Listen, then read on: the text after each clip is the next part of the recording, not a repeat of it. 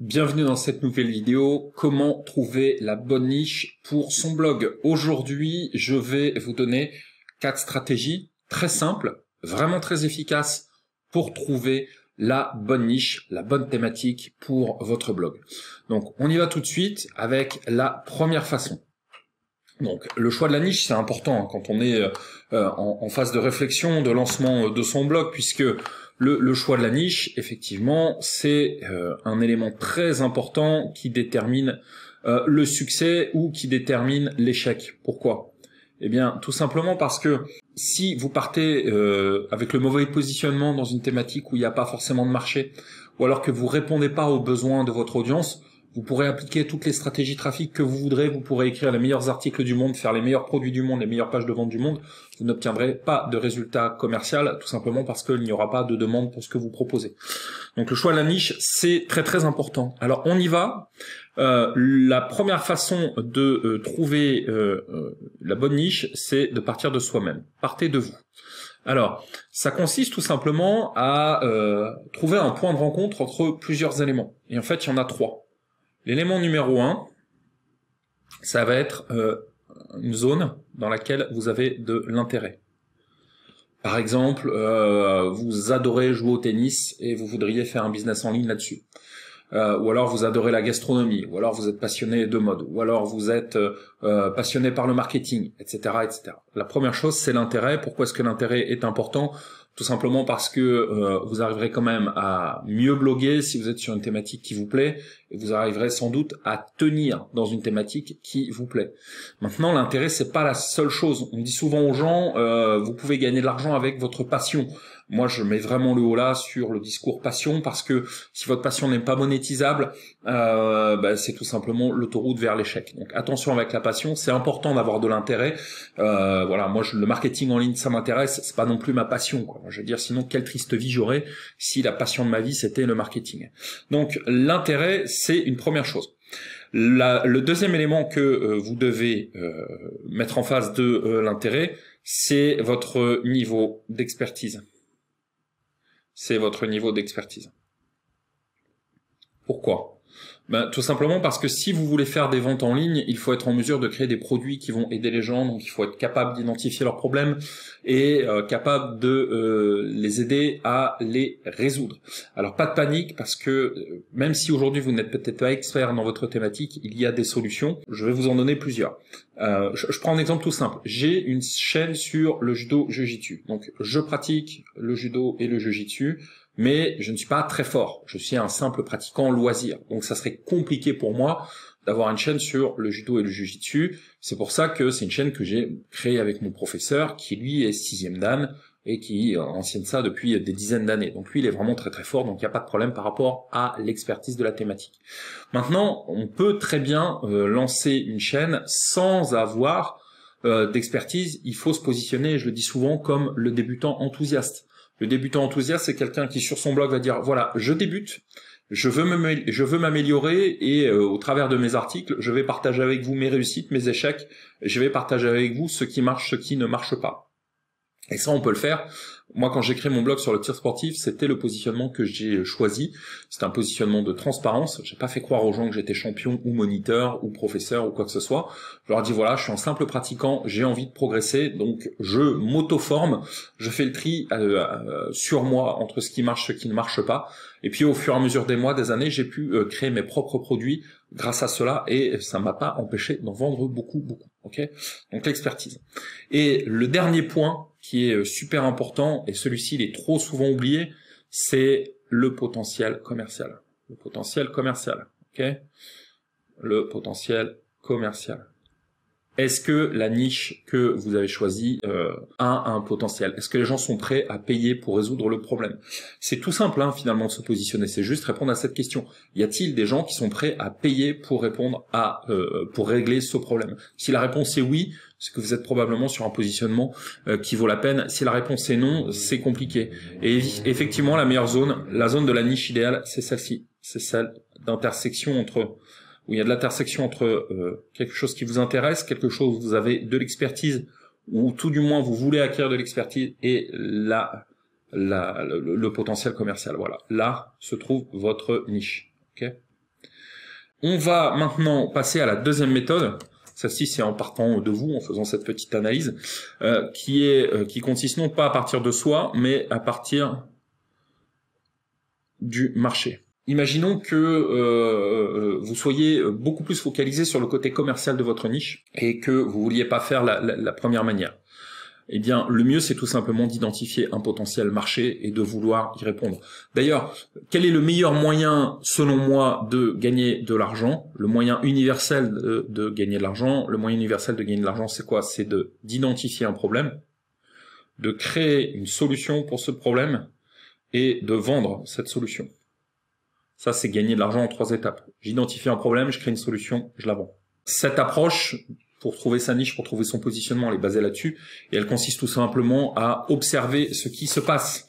Donc l'idée c'est quoi? C'est de regarder les blogs et d'essayer d'observer euh, en francophone, en anglophone ou même dans d'autres langues, si euh, il y a des blogs sur une thématique précise et est-ce qu'ils ont l'air de durer, est-ce qu'ils ont l'air de marcher, est-ce qu'ils ont l'air d'avoir des inscrits, euh, est-ce qu'ils vendent des produits, est-ce que ce sont des blogs qui sont là depuis des années, est-ce qu'il y a du monde sur leur Facebook, sur leur Twitter, sur leur Instagram, bref, est-ce que vous arrivez à identifier un écosystème autour d'une thématique par rapport à tous ces blogs?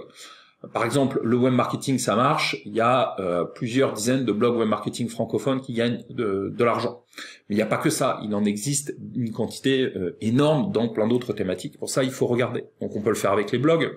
C'est un premier indice. On peut le faire également euh, avec YouTube, bien sûr. Aujourd'hui, de plus en plus, hein, est-ce qu'il y a des chaînes YouTube sur cette thématique? Est-ce qu'ils vendent des produits? Est-ce qu'il y a du monde qui regarde les vidéos? C'est très facile de voir le nombre de vues et le nombre d'abonnés à une chaîne. Hein. Ce sont des données qui sont publiques. Ça vous permet également de valider l'importance de l'écosystème euh, autour de, euh, de votre idée de niche.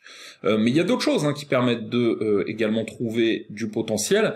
par exemple, les forums. Les forums, ça marche toujours. Hein, ça a l'air un peu un peu kitsch, un peu ancienne école. N'empêche qu'il y a des forums sur des tas de thématiques qui sont toujours actifs, avec des milliers et des milliers de membres. Ça dénote aussi là un besoin, un intérêt. Et enfin, il y a un truc qui est aussi intéressant pour identifier un marché. Peut-être qu'aujourd'hui, il n'y a pas forcément de blog sur votre thématique. Peut-être qu'aujourd'hui, il n'y a pas forcément de blog sur YouTube, ni de euh, gros forums. À ce moment-là, Amazon. Amazon, voilà, je vais essayer d'écrire. Je suis toujours mal écrit, mais avec la tablette, c'est pas toujours facile. Amazon, c'est génial parce qu'Amazon, ça vous permet de trouver des niches qui sont inexploitées. Euh, moi, quand j'ai créé mon blog sur le tir sportif, il y a déjà pas mal d'années de ça, il y avait euh, pas de blog, il y avait pas de chaîne YouTube et euh, il devait y avoir un ou deux petits forums. Donc, ça aurait pas été un, un, bon indicateur du potentiel de la niche. Par contre, sur Amazon, en anglophone, il y avait pas mal de bouquins. En Amazon, sur Amazon, il y avait pas mal de bouquins en anglophone. Donc, euh, bah, ça m'a montré que s'il y a des bouquins, c'est qu'il y a des éditeurs. S'il y a des éditeurs qui mettent de l'argent, c'est qu'il y a un potentiel marché.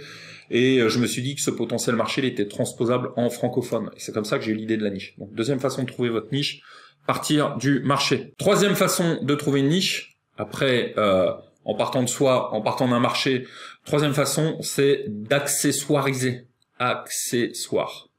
Accessoiriser. Alors, c'est pas un, c'est pas français, mais l'accessoirisation, si j'ose dire, euh, c'est tout simplement de se greffer sur quelque chose qui est existant. je vais vous l'expliquer très vite, hein, très facilement. Par exemple, on sait qu'aujourd'hui, il y a beaucoup de gens qui sont freelance dans le domaine du, euh, du graphisme.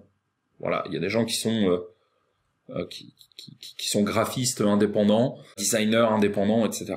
Donc là, il y a un écosystème qui est celui des graphismes freelance si vous voulez l'accessoiriser, ben, il faut trouver un thème sur lequel ces gens-là ont, besoin de s'améliorer, euh, ont besoin de travailler. Eh bien, vous pourriez trouver que l'accessoire qui va très bien à cette niche-là, par exemple, c'est Photoshop. C'est Photoshop. Et vous allez faire du tuto Photoshop. Vous allez faire du, du tuto Photoshop spécialement adapté à ces gens-là. En gros, vous accessoiriser, ce que j'appelle accessoiriser, c'est prendre une grosse thématique ou une grosse communauté et voir ce qui va graviter autour. Ok?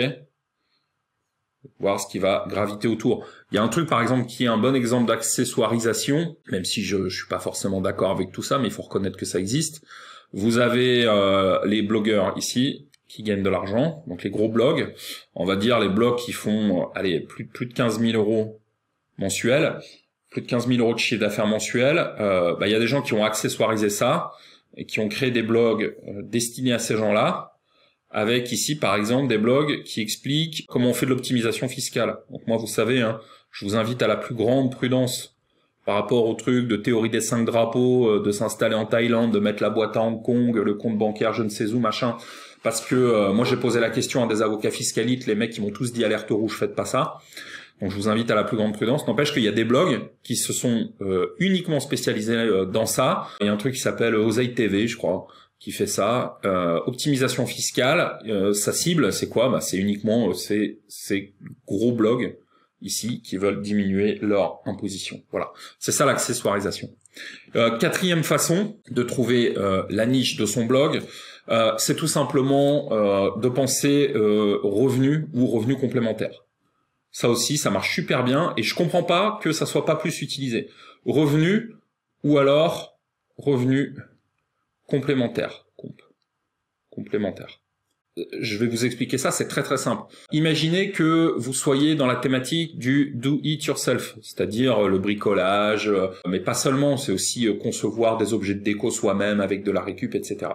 Et imaginons que chaque mois, vous arriviez à gagner, je sais pas moi, 200 ou 300 euros en vendant vos propres créations. Ben, vous pourriez très bien créer un site qui explique aux gens comment se faire un revenu complémentaire avec ses propres créations. Ok? Donc ça c'est une première une première façon de le faire.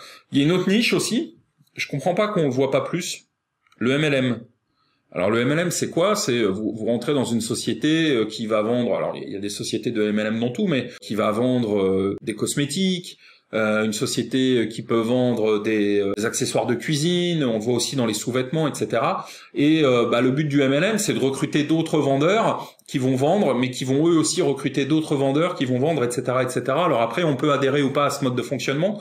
N'empêche qu'il y a plein de gens qui font du MLM.